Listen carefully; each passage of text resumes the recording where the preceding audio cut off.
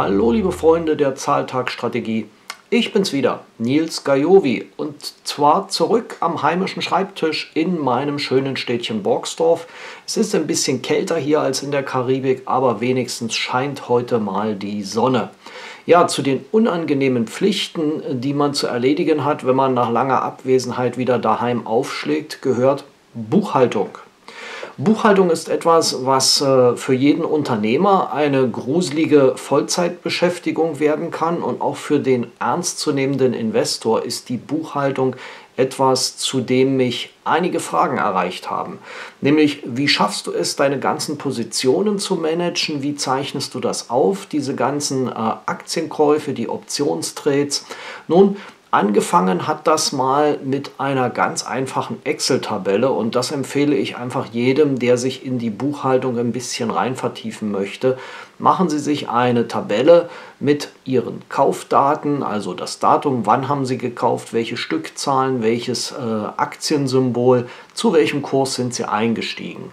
Dann äh, mit der Zeit kam eine neue Spalte dazu, die hieß Dividenden. Das heißt, ich habe dann eingetragen, welche Dividenden wurden in diese in dieser Aktie bereits gezahlt. Schließlich, als ich mit dem Optionshandel angefangen habe, kam eine weitere Spalte hinzu, nämlich was habe ich bereits an Optionsprämien eingenommen.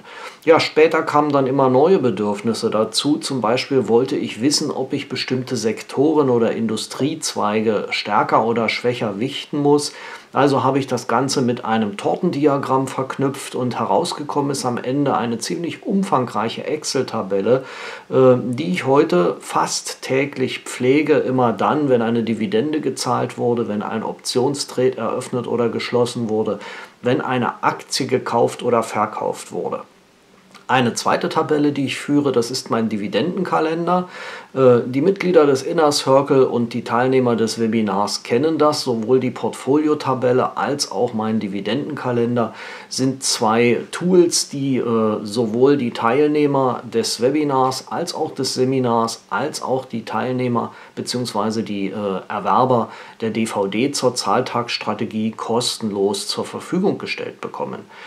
Ähm, mittlerweile ist die ganze Buchhaltung recht umfangreich und da habe ich mich entschlossen, etwas Geld in die Hand zu nehmen. Es gibt eine Trading-Tagebuchsoftware, äh, die heißt Trading Diary Pro. Ähm, das ist eine Software, äh, wo ich jeden Morgen auf Knopfdruck meine Daten von meinem Broker importieren kann. Es werden dort also die aktuellen Kurse eingespielt, es werden alle Trades eingespielt, die am vergangenen Tag abgelaufen sind. Man kann das auch einmal in der Woche machen, dann muss man eben nur einmal am Freitag oder Sonnabend äh, seine Trades dort einspielen. Und das Schöne an dieser Software ist, dass ich zum Beispiel keinerlei Kopfschmerzen mehr habe, was das Umrechnen von Währungen, Euro in Dollar und all dieses ganze Hin und Her angeht. Eine sehr bequeme Lösung, die mich, glaube ich, 130 Euro gekostet hat und einmal im Jahr zahle ich dafür 45 Euro eine sogenannte Maintenance Fee, denn die Broker verändern gern mal die Schnittstellen äh, zum Export der Daten und äh, das wird von dieser Softwarefirma automatisch aktualisiert. Für mich ist das die bequemste Lösung, aber nicht jeder muss wirklich für 120 Euro oder 150 Euro eine Software kaufen. Eine Excel-Tabelle tut es auch. Wichtig ist, dass Sie überhaupt Aufzeichnungen führen. Machen Sie daraus keinen Vollzeitjob, aber halten Sie sich das äh, immer wieder vor Augen, was mir mein Lehrer Dr. Alexander Elder beigebracht hat. Zeige mir einen Trader mit guten Aufzeichnungen und ich zeige dir einen guten Trader. Nur wenn Sie wissen, wo Ihr Geld hingeht, wo es bleibt, dann werden Sie auch wissen, wo Sie irgendwann einmal Verbesserungspotenzial haben. Und deswegen sind Aufzeichnungen etwas, was man überhaupt nicht auf die lange Bank schieben sollte.